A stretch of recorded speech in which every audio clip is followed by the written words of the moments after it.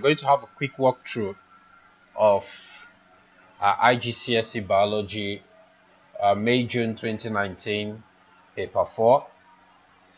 Um, the paper is for 1 hour 15 minutes, but let's see how we could rush through it within the next 40 minutes or less. Um, so first, the first question here is all living all uh, all commercial breeds of sheep belong to the same species called Ovis aries. Now define the term species. Simple. A species is a group of organisms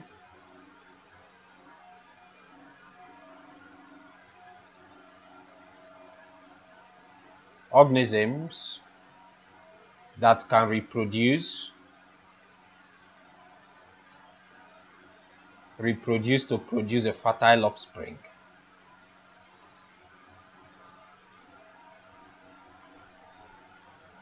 To produce fertile offsprings.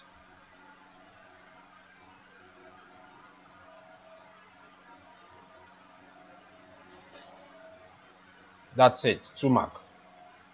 Now the next question is, they said uh, the the Merino is a breed of sheep that is farmed mainly for its wool. Now the wool is very thick and is made of a lot of uh, very thin hairs. Figure 1.1 shows a female merino sheep with her newborn lamb. Now uh, the first question here is, the presence of hair is a feature of only found in mammals. State two other features that are found in mammals. Here, you find that there is external ears, external ears, uh, such as this. Now, uh, these are all external ears. Now, the baby is feeding, so uh, feed our young with milk Now, since he has a baby, that means he gives birth to live young. They can they can change. Give birth to live young.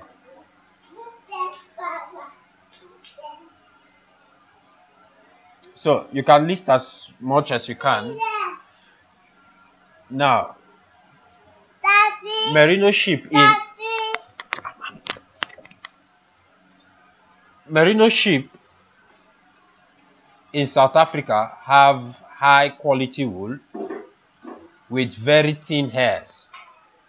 They have high quality wool with very thin hairs. Now the question here is the breeder in New Zealand, breeders in New Zealand have used uh, selective breeding programs to improve the wool of their sheep to match the quality of South African wool. Now describe the step that breeders will take to breed sheep that have wool with thin hairs.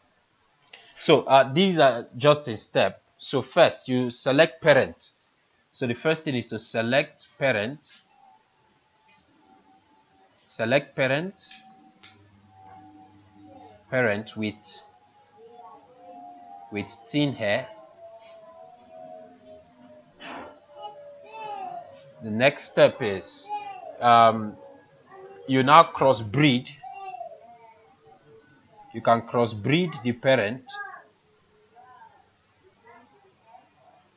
Crossbreed the parent um, using you can also using artificial insemination. Artificial insemination Then the next step is uh, you now select um, offspring with fine thin hairs. So you select from the offspring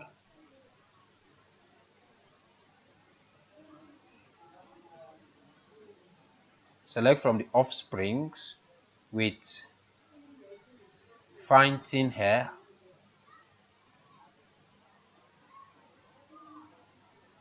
Then you now crossbreed the offsprings together. You breed the offsprings together.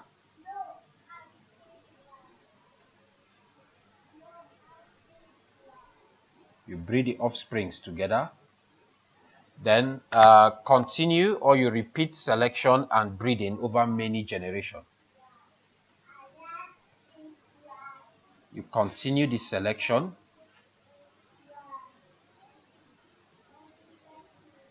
and breeding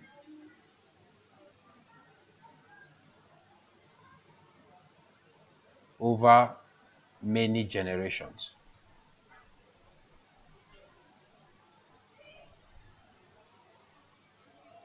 This will continue until you now have a pure breed of sheep with thin wool. I think that will give you five marks. Now they say explain how natural selection differ from selective breeding. Uh, this is quite straightforward. How natural selection uh, differs from cross breeding. Now, natural have to do with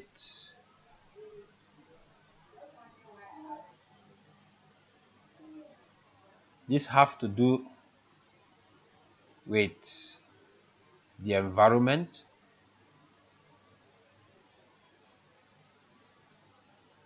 Has to do with the environment. And different adaptive features of the organisms.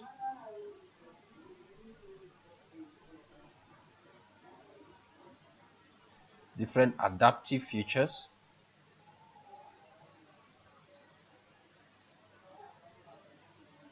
of the organisms which will lead to which leads to um, leads to competition which leads to competition sorry competition and uh, survival of the fittest survival of the fittest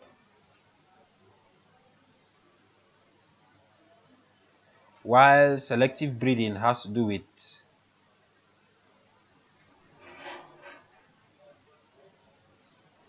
selective breeding have to do with um,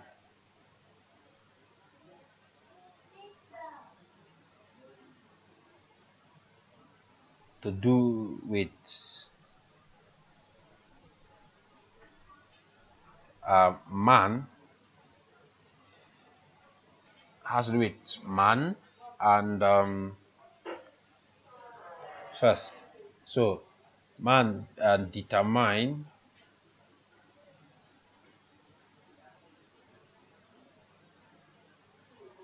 determine determine which characteristics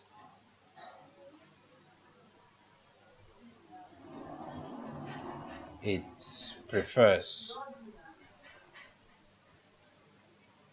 to develop in a species. Okay, that's it. Next question. So question number two have to do with uh, photosynthesis. So let's see. Now, they say the rate of photosynthesis of terrestrial plants can be determined by measuring the uptake of carbon dioxide. Now, explain why plants take up carbon dioxide during photosynthesis. Uh, simple. This carbon dioxide is a raw material. Let me just abbreviate it. Sorry. Carbon dioxide is a raw material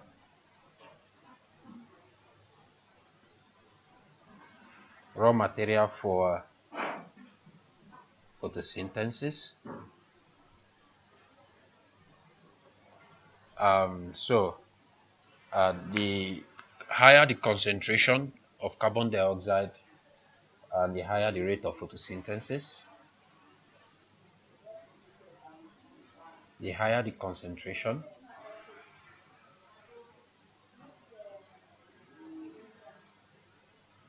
the higher the concentration, the higher the rate of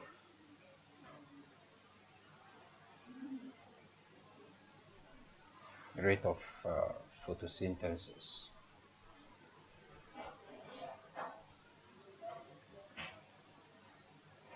Uh, the next is the rate of photosynthesis of part of individual leaves can be measured using a handheld device uh, such as the one in this photograph called a transparent chamber. Okay, it has a transparent chamber here, sorry. So the apparatus allow air to flow through the transparent the apparatus allow air to flow through the transparent chamber that encloses part of the leaf. Now the apparatus measures the carbon dioxide concentration of the air entering and leaving the chamber. Explain how the results from the apparatus can be used to calculate the rate of photosynthesis. Now, uh, this is also quite straightforward. You subtract, uh, how you do that, you should subtract subtract the concentration of carbon dioxide.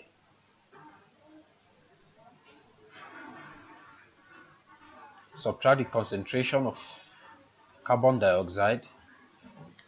Carbon dioxide at the end from the concentration of carbon dioxide at the start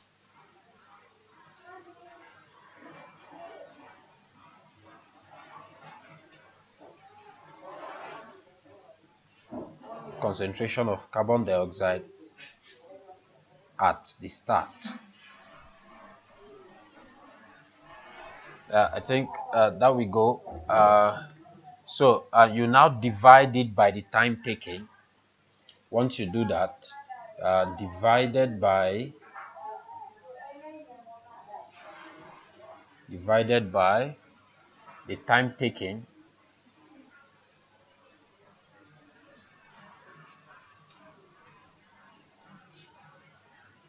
that will give you a 2 mark simple now the next question is um, a student used the apparatus in this uh, figure 2.1 to investigate the effect of temperature on the rate of photosynthesis of the leaf of Chinese plantain.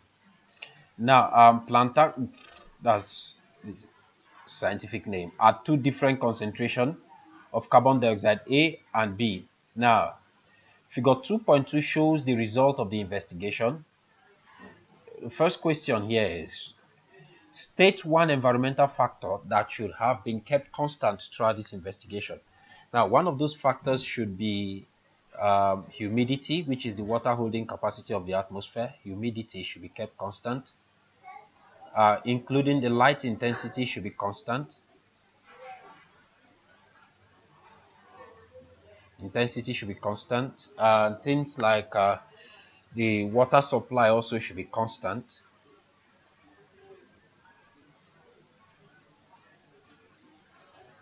Now the next question is describe the effect of temperature.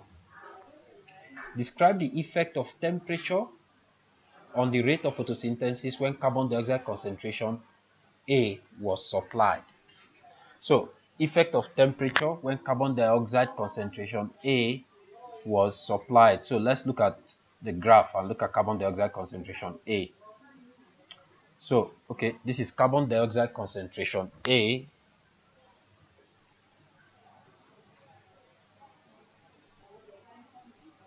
This is, sorry, we have, um, yes, my mark, okay. This carbon dioxide concentration A.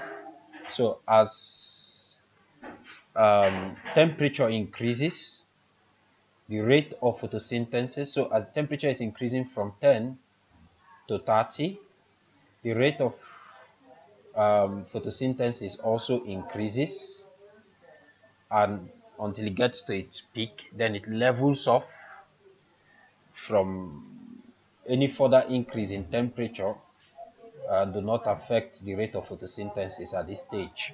So uh, the carbon dioxide concentration is constant. So the carbon dioxide concentration doesn't have any effect.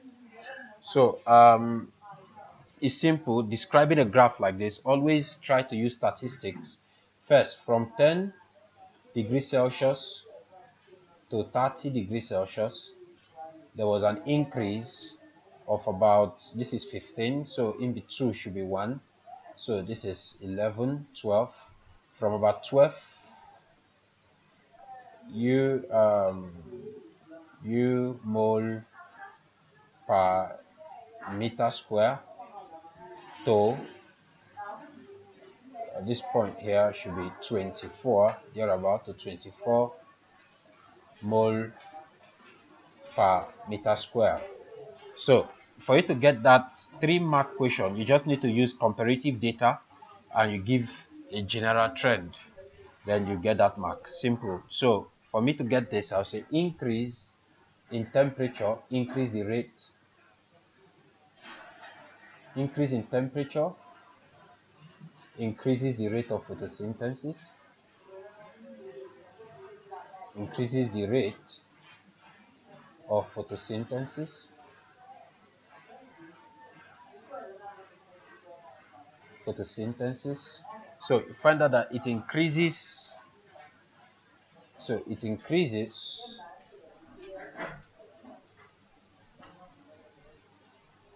From we're looking at um is it not sorry let's scroll up and look at those set of data again that we figure out. So it increases from 12 to 24 so it doubles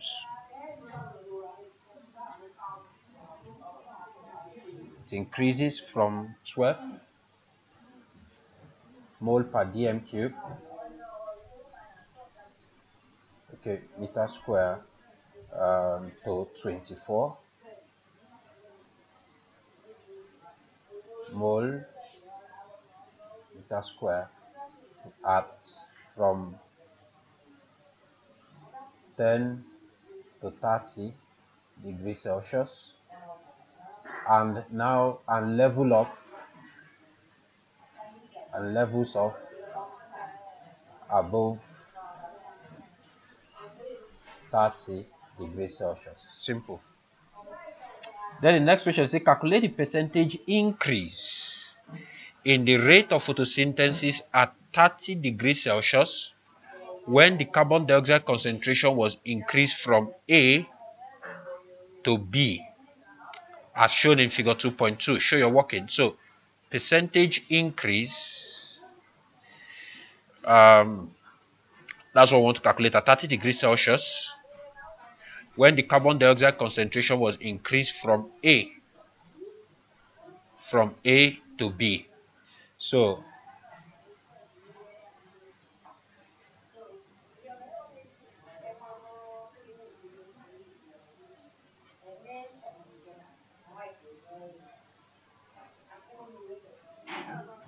sorry comment okay um to calculate this um we have to look at it should be old minus new.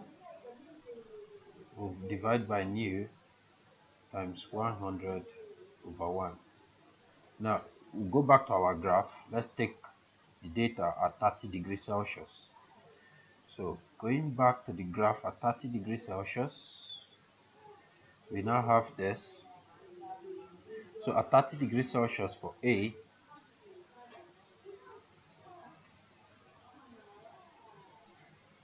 then for B is this. So A here is this which is around 22 and for B so this is A B is 30 so for us now calculate our percentage increase it will be B minus A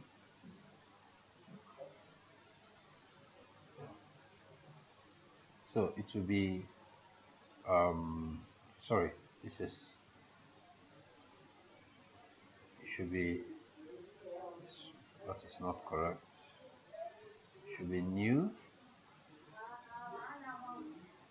minus old over old multiplied by 100 over 1 and our new is 30 which is for b minus old which is 22 divide by our old which is 22 times 100 if you do this calculation you now have 8 divided by 22 times 100 and your answer will be 36 percent. That's all. Then explain the effect of increasing. Explain the effect of increasing temperature on the rate of photosynthesis for carbon dioxide concentration at B. Now, if you go to look at B uh, the effect of increasing temperature on the rate of carbon dioxide on the rate of photosynthesis for carbon dioxide concentration at B. So let's see. At B, uh, as the temperature increases, there is an increase also in the rate of photosynthesis. So a further increase in uh, carbon dioxide concentration at B, which is uh, 1000 ppm, you find out that the amount of carbon dioxide here is high. So at this point, carbon dioxide is not a limiting factor. But what can be the limiting factor of photosynthesis here can it will be temperature. So anything that will slow the amount of photosynthesis here is temperature because the amount of carbon dioxide here is quite high.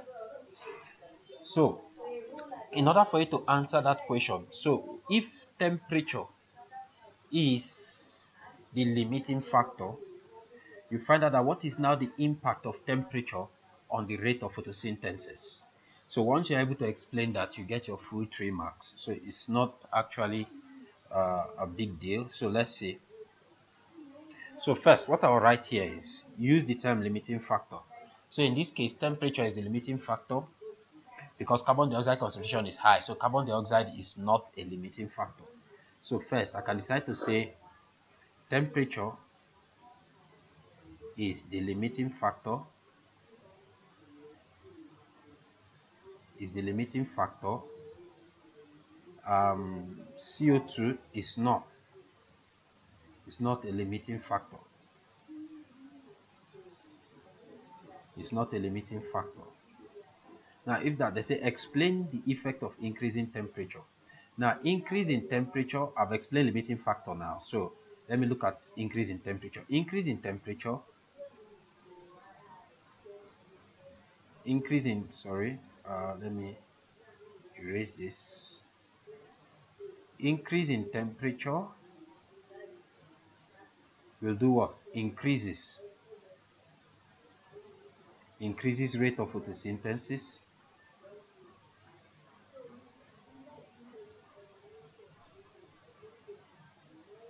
by what? By increasing the kinetic energy. Increasing the kinetic energy of molecules.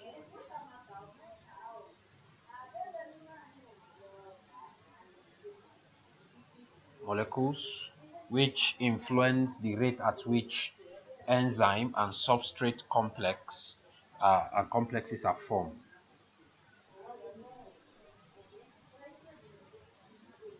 which increases the rate at which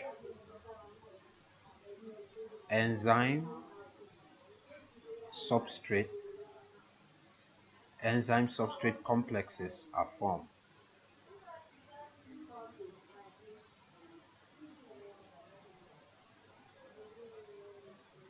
Enzyme substrate complexes are formed which uh, um, enzyme is usually uh, also a factor that affects photosynthesis. So if you write this, you get your three marks: kinetic energy, enzyme substrate complex, and also um, the limiting factor to give you a full three marks. Now, the next question here is: the student concluded that carbon dioxide concentration is a factor limiting the rate of photosynthesis between 30 and 35 degrees Celsius for the result shown for A in figure 2.2 state the evidence for this conclusion. They said carbon dioxide concentration is a limiting factor for B. So uh, uh, it's a limiting factor. Carbon dioxide concentration is, is the factor limiting the rate of photosynthesis between 30 and 35 degrees Celsius uh, uh, shown for A. So, so let's go back to that graph. Let's see.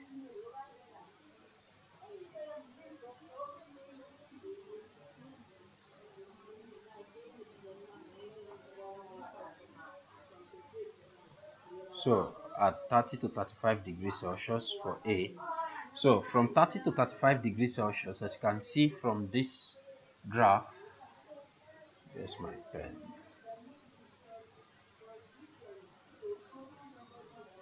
from 30 to approximately 35 degrees celsius further the rate of photosynthesis for a is constant so how are we going to tell that the rate of photosynthesis is carbon dioxide here is a limiting factor is because at B, the rate of photosynthesis is higher. So B showed that the rate of photosynthesis is higher if carbon dioxide concentration increase from 370 to approximately 1000. So that's it. It's a one mark question. So B showed that higher rate of higher carbon dioxide concentration uh, will further increase the rate of photosynthesis at 30 to 35 degrees Celsius. So what you do here, you just write B shows that shows that further increase further increase in um, carbon dioxide concentration will increase will increase the rate of photosynthesis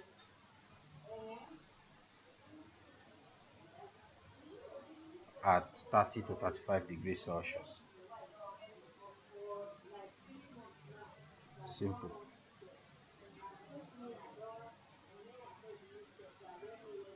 So the next question is, a similar investigation was carried out on Arizona honey sweet uh, that grow in Death Valley in California, where the highest temperature may be greater than 45 degrees Celsius. The highest temperature may be greater than 45 degrees Celsius. So they said um, the results are shown in figure 3, 2.3.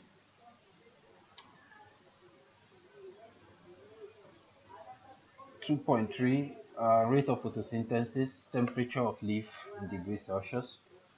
So they say predict and explain. So there are two contents we are looking at here. We need to predict and we need to explain what will happen at the rate of to the rate of photosynthesis if the, the investigation continued at temperature higher than 45 degrees Celsius.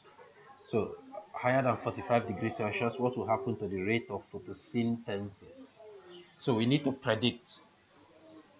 So at 45 degrees Celsius, higher than 45 degrees Celsius, uh, what you expect that will happen is the max here at 45, you expect that the rate of photosynthesis will either remain constant and further increase will make enzyme to denature and if enzyme denature that means the rate of photosynthesis will now slow down so all what I would need to write there to so my prediction so when you are given a question like this it's good you specify. If if I'm the one I'll write the predict first. So um, the prediction will be the rate of photosynthesis.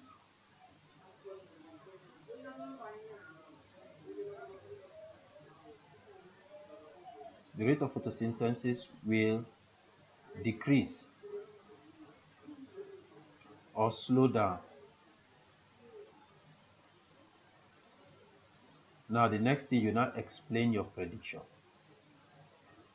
You give reason. So this is because enzymes enzymes will denature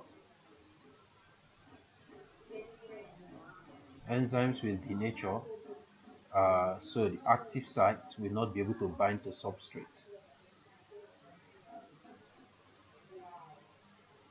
The active site will not bind the substrate.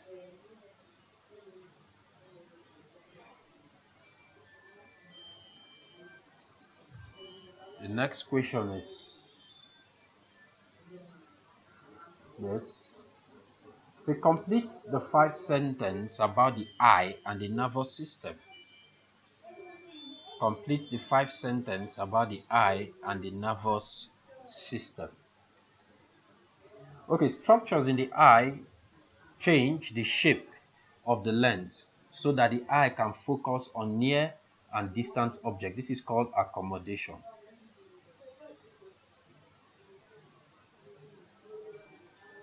The radial and circular muscle in the iris of the eye are pairs of antagonistic muscles that work together. Uh, now, muscles in the eye are controlled by the nervous system. The dash dash dash nervous system contains only sensory and motor neurons. That's the peripheral nervous system. The dash dash nerve from the eye contains sensory neurons that conduct impulses to the brain. That's the optic nerve. I've even mentioned itself impulses to the brain. Five marks. That's all. Now, transmission of impulses relies on the flow of ions through the cell membrane of neurons down their concentration gradient. Transmission of impulses uh, relies on the flow of ions through the cell membrane of neurons down their concentration gradient so we are told that active transport is responsible for maintaining the concentration gradient of ions across the membrane of neurons. Explain how ions are moved across membranes by active transport. Now, what you need to just define active transport. So, first, active transport is the movement of ions. Active transport is the movement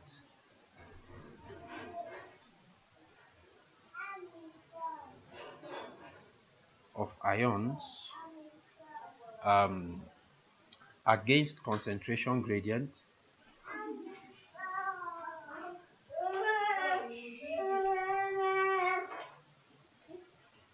against concentration gradient concentration gradient from low sorry that's from high to low concentration.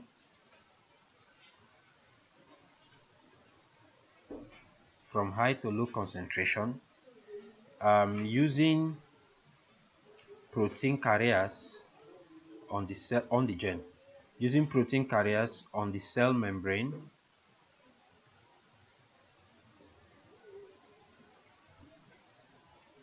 on the cell membrane and using protein carriers on the cell membrane and energy from respiration. They have brought the light, so stop. So that's it. Now, they said figure figure um study figure uh, sorry let me see. Figure 3.1 shows the junction between two neurons. The junction between two neurons. So that will be uh, the junction that separates two neurons is usually referred to as a synapse. So the question here will be let's see. So many drugs many drugs so Obviously, here we'll be looking at the impact of drugs on the synapse. Many drugs interfere with the action of neurotransmitters at the junction between neurons. Now, two drugs that influence the transmission of impulses between neurons are atropine and eserine. Now, the actions of these drugs are shown in table 3.1. Now, drug action at the junction of the neuron. Atropine block receptors molecules for neurotransmitters. That means it will now inhibit inhibits uh, electrical impulse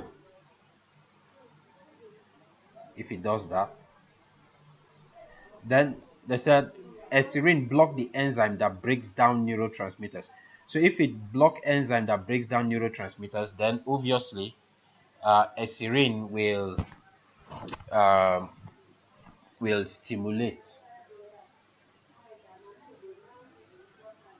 stimulate electrical impulse because the enzyme will not be able to break it down. Electrical impulse.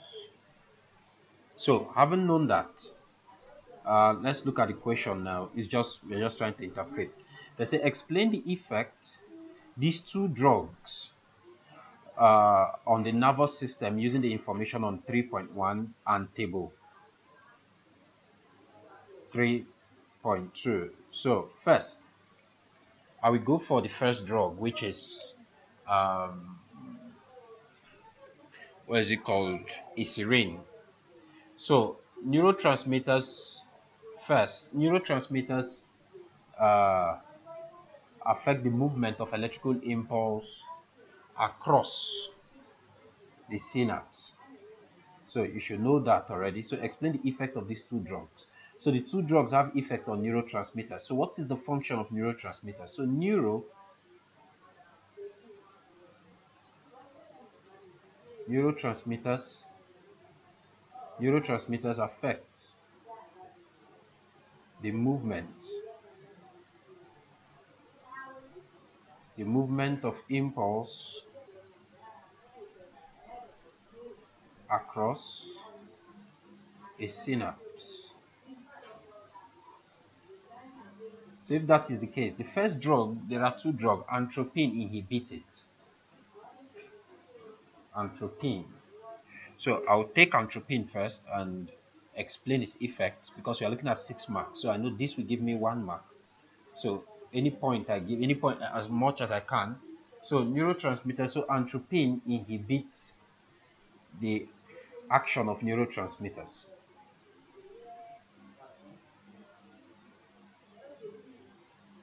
inhibits the action of neurotransmitters.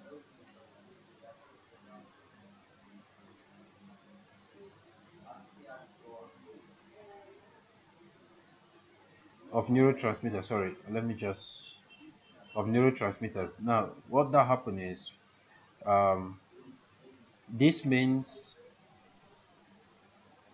this means electrical impulse um, sorry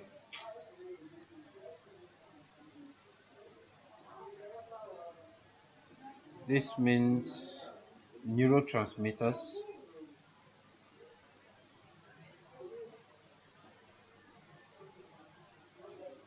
cannot bind. To receptors. Neurotransmitters cannot bind to receptors, therefore impulse cannot be transmitted.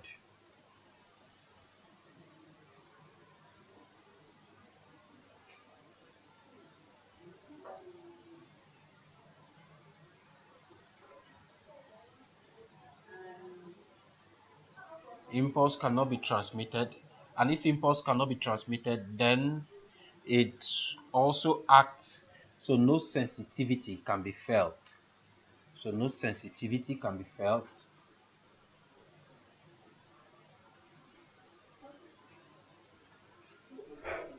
And if no sensitivity is felt, that means it acts as a painkiller. It acts as a painkiller and also a depressant.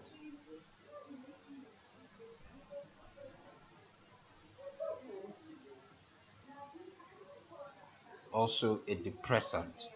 Now, if I write that for um, atropine, I need to also write content for serine.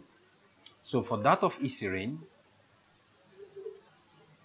for serine now, Remember, eserine stimulate electrical impulse.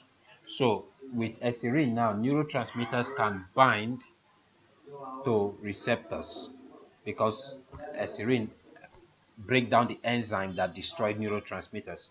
So neurotransmitters will now be available. Neurotransmitters neurotransmitters will be available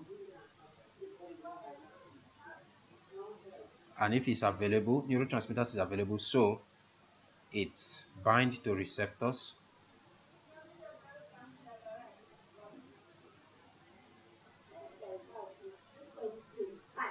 So which make it a stimulant.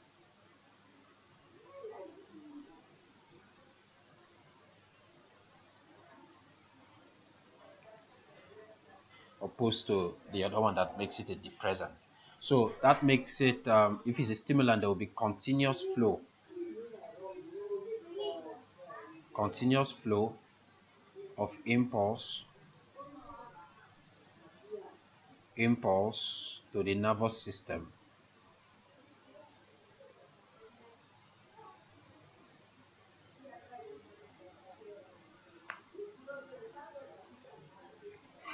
So that's it. You can add other points if you want to, but that will give you a six mark.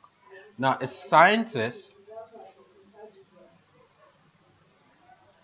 a scientist, a scientific paper was published in 1997 that described the effect of anabolic steroids on female athletes. Many of these athletes achieved great success in international sport competition during the 1960s and 1970s. Discuss the argument against the use of anabolic steroids in sport.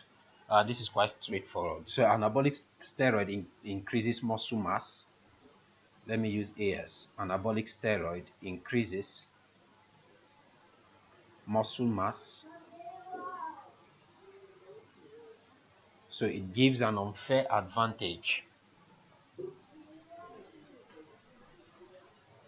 gives an unfair advantage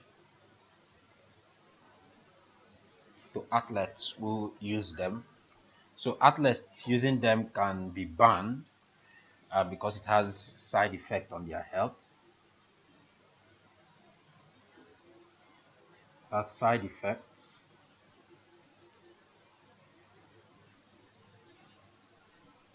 On their health. So such athletes so such athlete uh,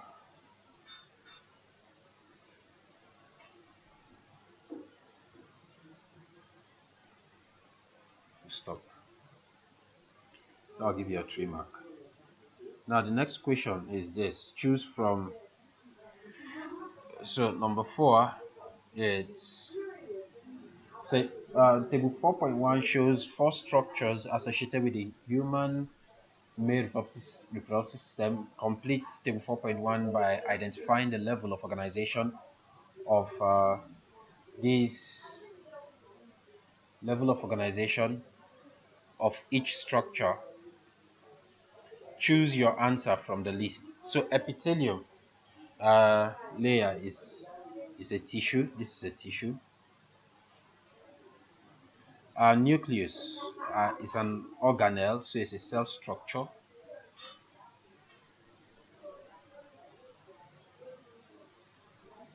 Sperm is a cell.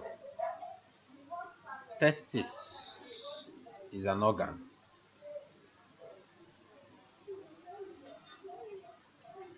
now we have a diagram here now from this diagram I know there will be a set of questions that will be asked so we'll make reference to it. Say table 4.2 shows information about the male system in figure 4.1 complete table 4.2 testis. What's the function of the testis? Production of sperm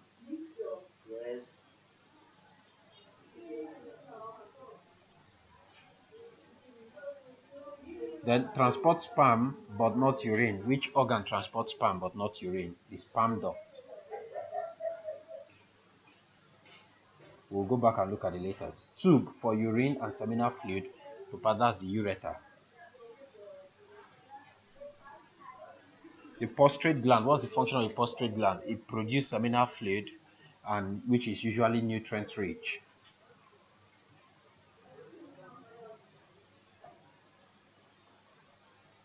Seminal fluid which is rich in nutrients. Then which one contains this testis is the scrotum. So let's look at um, where is the testis? This is the testis here. So testis this is the scrotum um, so C is the testis B is the scrotum sac. So let's move forward. Then A will be the sperm duct. No sorry. A is the urethra comes out. This will be the sperm duct. D is the sperm duct which carries the sperm. This will be the urethra then um, E here should be our prostrate gland where the nutrient is added. And think D here is the bladder. F sorry is the um, prostrate gland. The prostrate sorry. Wasting time. Prostrate gland. That's it so um, draw an X on figure 4.2 to show the structure where mitosis meiosis occur. Meiosis occur at the testis where sperm is being made. So that's all one mark. Then they say um, sperm and egg each have a nucleus which is diploid which is haploid. Define a haploid nucleus. Um, so a haploid nucleus is a nucleus that contains one set of chromosomes. So one that have one set of chromosomes. Two set of chromosomes is diploid Diploid is two set of chromosomes, haploid is half, one set of chromosomes. State the number of chromosomes in a, in a human haploid. So you see, haploid is half, so it's 23.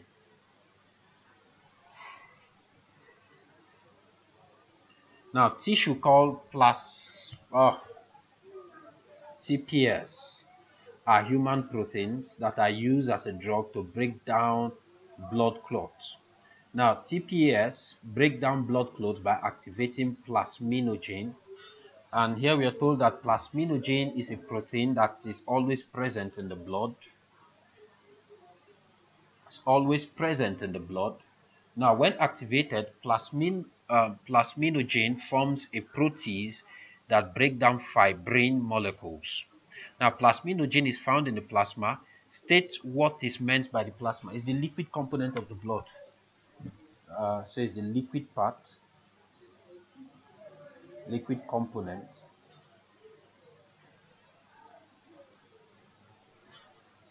of the blood. State the product of the action of protease on the protein fibrin. So if it's a fibrin and protease is the enzyme that break down a protein to amino acid. So the product will be amino acid.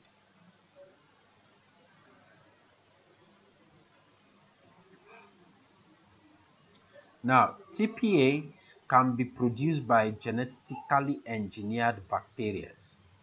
Figure 5.1 shows some of the stages involved in genetically engineering a bacteria to make a TPA. Now, we have uh, X, this is human insulin, DNA removed from a human cell, uh, which we have a complementary shape. You remove the plasmid from a bacteria cell all have sticky ends joined together inserted back to now produce and isolated later to produce the insulin. So let's see what kind of question do they want to ask here. First, state the name of structure A. So what is A first? A, A, A, A, A, A. A is a plasmid.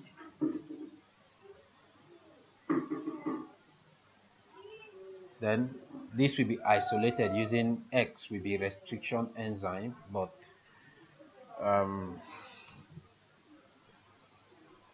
so A plasmid screw down first please A is a plasmid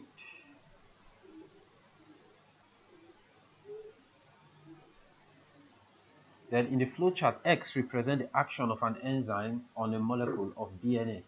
State the name of this enzyme. When you, enzyme that help in uh, X represent the action of an enzyme on a molecule uh, of DNA. So there are two enzymes. The one that help to remove it from the human cell is referred to as the restriction enzymes.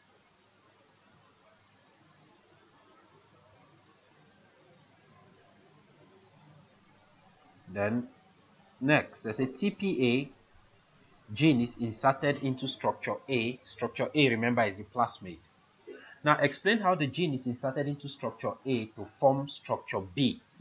Structure B is uh, a recombinant DNA, uh, a plasmid, sorry. So first, you cut an opening on A. So first, you isolate, let me, you isolate the TPA using restriction enzyme.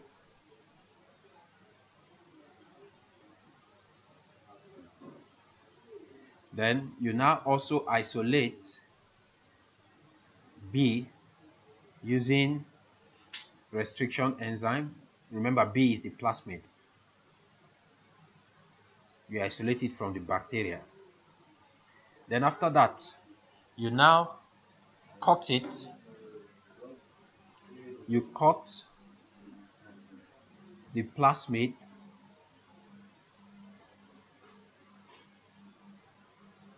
And the TPA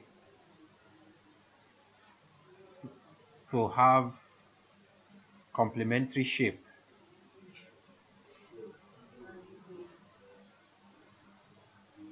Complementary shape using the same the same restriction enzyme.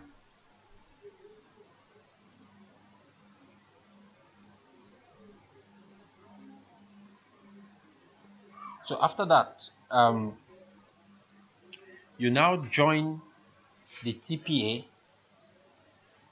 to um, using the same restriction enzyme, there's something I need to add here. Forming sticky ends. God bless you.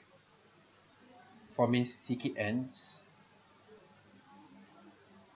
Good.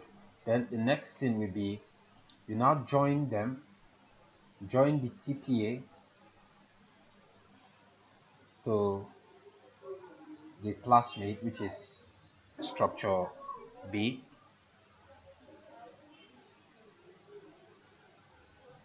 using ligase enzyme.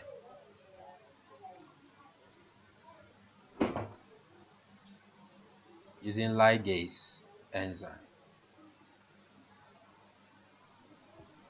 Using ligase enzyme. Uh, so, I think that is all.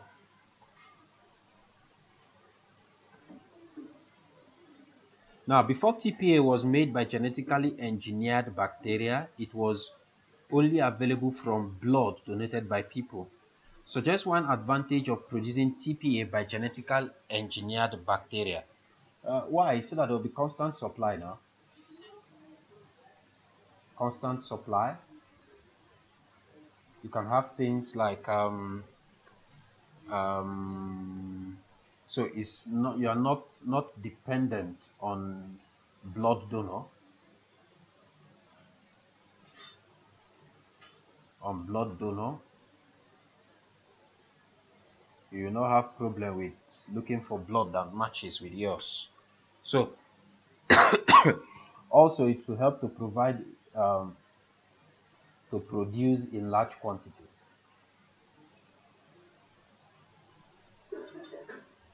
and also usually there is no ethical concern.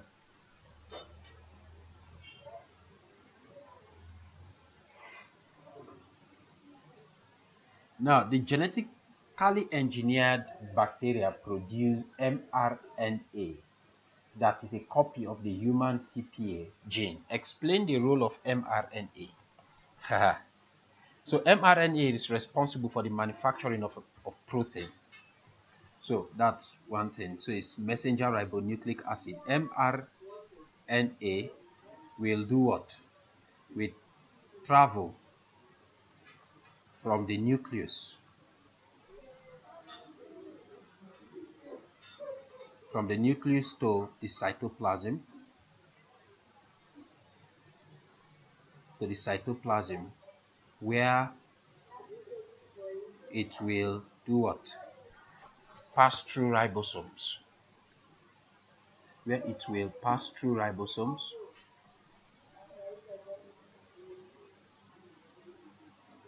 pass through ribosomes which will now uh, which will interpret it interpret or read it to make a particular protein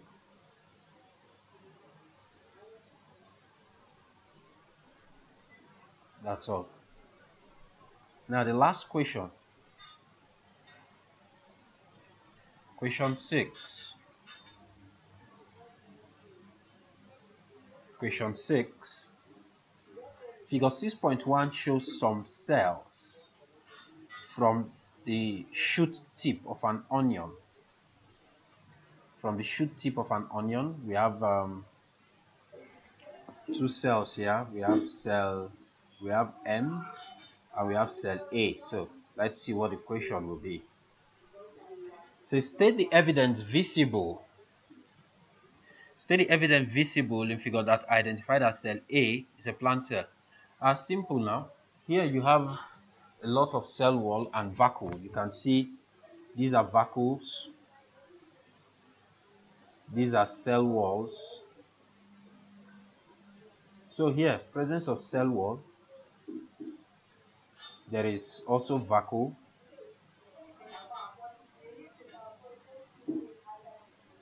vacuole is also available. So and also gives all of them have a regular shape. So cell a is dividing by mitosis.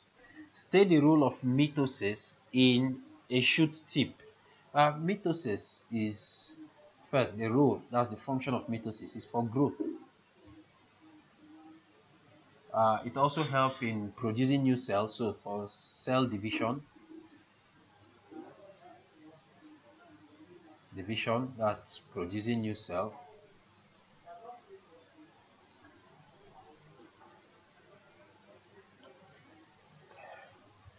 And if it's for growth, it will help to increase the root tip or shoot. Now, the area labeled M is this, a mitochondria. Explain why mitochondria have an important role in dividing cells. And simple now. So, um, so dividing cells, cells require require energy. So the mitochondria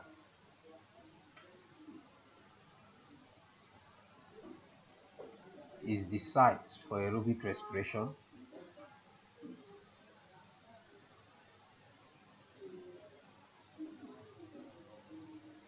Site for aerobic respiration. Respiration to produce energy.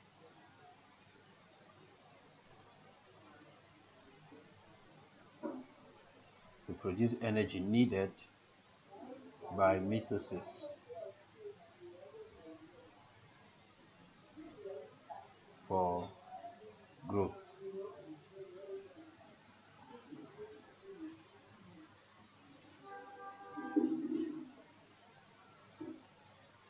For growth and making new cells.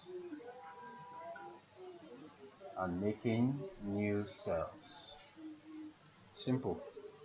Next is cells just um, behind a shoot tip. Absorb water and grow in length a plant hormone stimulates cell elongation and control the response of stem to gravity State the name of this is auxin, the name of the hormone in plant. Explain how the response of stem to gravity is controlled. The response of stem to gravity is controlled. So auxin is made in the shoot or root tip. That's the first thing because it's controlled by auxin, which is the hormone. Auxin is made on the shoot or um, shoot tip or stem tip, whichever. That's the first thing you need to know. Now, uh, it moves from the tip to the lower part of the shoot or the darker or lower part of the shoot. So it moves from the tip.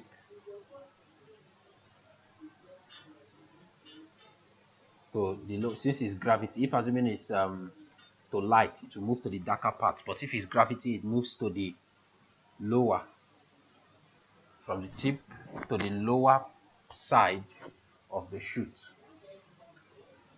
Lower side of the shoot. Or stem then the third point there will be um, it stimulates cell elongation. So it will now stimulate cell elongation.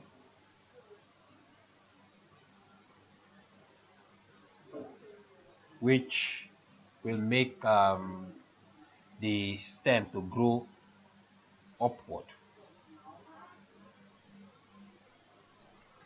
which makes them to grow upward and root downward.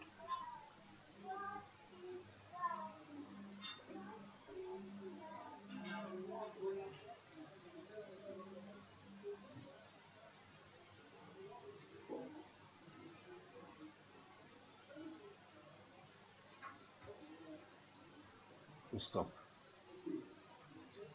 The next question some cells in the shoot tip become leaf cells and other become cells in the stem or in flower. Explain why it is important that only some of the genes in cell A are expressed in these cells. Uh, are expressed in these cells. So usually cells have yeah, they are just asking you about specialized cells. So, um, how will I put this? Plants have different functions. Uh -huh. Plants have different structures that perform different functions. So, therefore, the need for specialized cells. Plants have different different structures that performs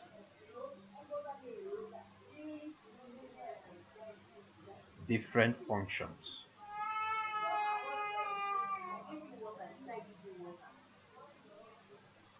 Therefore,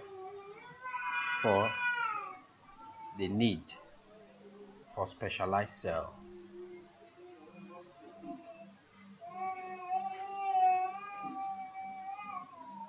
the need for specialized cells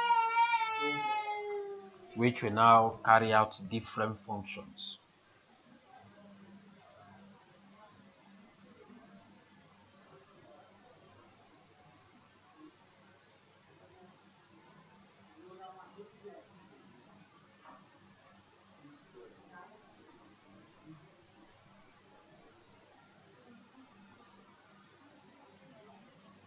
carry out different functions uh,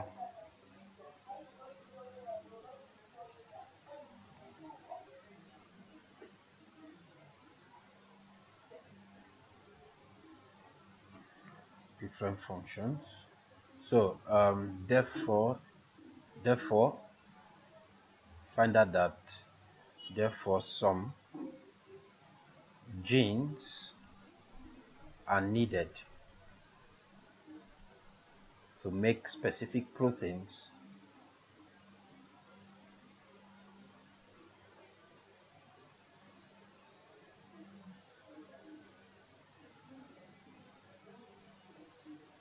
that will help.